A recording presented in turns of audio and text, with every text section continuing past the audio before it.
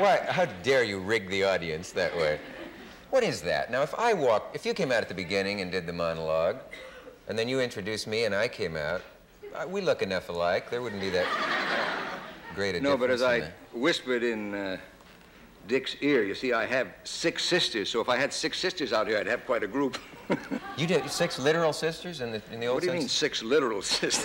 Well, I mean, as opposed to uh, nuns. Six- you mean your own actual sisters? Yes, are- I have six sisters, and I'm the only boy in the family. And before you ask, I have three sisters who are older than I am, and I have three sisters who are younger than I.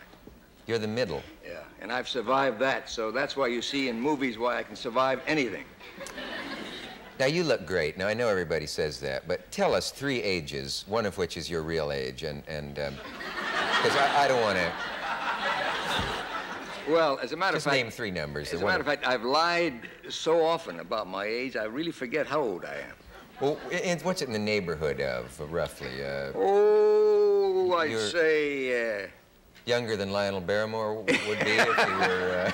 Uh, I am how old are you, Kirk? I am 53 years old. You are 53? Yeah. And how much? That's it? Is that good or bad? What do you. That's amazing. No, I, I said during the introduction I wasn't going to tease you about your cleavage. Uh, I, uh, Well, that- the I, I just will not mention The that. I'm last sick of that. time I was on a show, somebody was kidding about my dimple. Yeah. And he said to me, he said, you know, I'd love to yell into your dimple and listen to the echo. It wasn't. Please explain that I was not the one who said No, that. you were not the oh, one. good. Okay. Your whole family did a movie with you, or you did a movie with them, or something like that. Well, I think they, uh, well, a little bit of both. As a matter of fact, it was uh, an exciting experience because I've never worked with my family uh, that way before. My wife was the producer. My son Peter was the still photographer. My son Eric worked in the production department. I acted and directed in it, and our dog was also in the picture. So the whole, that's most of the family. Please support this family by going. It's what you, it's a, It's a picture called Scalawag, and we th- think of it as a picture made by a family for families. I would like to have had my uh, two older boys, uh, Michael and Joel, but Michael's busy doing a series called The Streets of San Francisco. Oh, that's right. I did not realize that was your. That was the same Douglas. Yeah. Well, I'm at the point where I refer to him as my kid brother, but he's my son. We have a picture of you here, of your family. They're signaling me. Well, there's the picture of you. Uh, this is the uh, part of part of the family. Um, can you all see that? Well, you just have to come down on stage then. Those are the uh, th- those are the young Douglases, I gather. Uh, yeah, those are, that's including, Peter and. Eric. That was taken in Yugoslavia, where we are on location for Scalawag. You are Yugoslav, aren't you? Didn't your family come from Yugoslavia, or No, my mother and father Where came from? Russia. from Russia? There is a difference. Yes, yes. Best we bear that in mind. And, uh, but the picture was shot in, in uh, Yugoslavia. I don't know where I, th- where I think.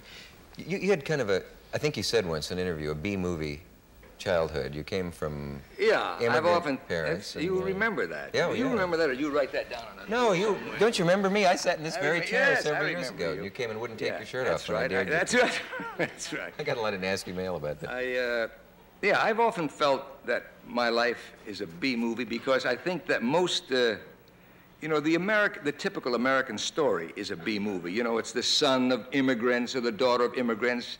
Their parents came to this country, they struggled, they went through college, and then they attained some kind of success. It's, it's, it's a very common uh, American story. As a matter of fact, the most uh, brilliant example of it is our new Secretary of State. When you think of a man, Henry Kissinger, who came here about 14 years of age, persecuted, goes to school here, still retains his accent. When I was at Washington for his swearing-in ceremony, it was, Yeah. it was very moving because here is the continuation of what the American story is all about. You have an immigrant who comes here and attains what he, what, what he attained. As a matter of fact, at that swearing-in ceremony, when we were going through the line, I said to President Nixon, I said, Mr. President, you know, my mother and father were immigrants, and they came here from Russia, and I said, and I have attained a little success in movies, I said, all I can say is that by this ceremony today with a new Secretary of State, the quality of the immigrants is improving. Did he like, did you like that? Well, I think he did.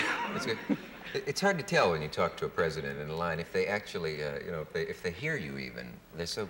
Uh, I've been through a couple presidential receiving lines, and I always have the feeling they're a little distracted. You know, they're just sort of nodding and moving. Well, also, don't you find yourself a little distracted? Because I have Yeah. never been in the White House that I didn't feel before you're going to shake hands with the president, you're sort of wiping your palms. And, you That's know, right. It's, it's, uh, it's an exciting experience to be in the tremendous White House. desire to steal the silverware I, I had the last time I was there. I remember when I was a kid, uh, they said to us once, a teacher, I think it was second grade, said, write out what you want to be when you grow up. Now, don't anybody put movie star because none of you are going to be a movie star. And I remember thinking, well, they were right. How did she, they weren't, that's right. But how did she know that? Now, you were in a, But I never wanted to be a movie star. Uh, when I was a kid, I always wanted to be an actor, and I've always thought, in a sense, uh, that I am a failure because I had dreamt always of going to Broadway and staying on, on the stage, and I've done about 12 Broadway plays. Most of them were flops. So I never thought of going into movies. That came, came later on, and I still dream of coming back to Broadway on the stage and acting on the stage. has your nose been broken? A couple of times. Yeah. Has your nose been broken recently? It's my... oh, you beat me. Darn you. I was going to say, is mine about to be? I don't know. You must have. Uh, obviously, I telegraphed that to you. You couldn't have thought of that yourself. Never. Um, we'll be right back.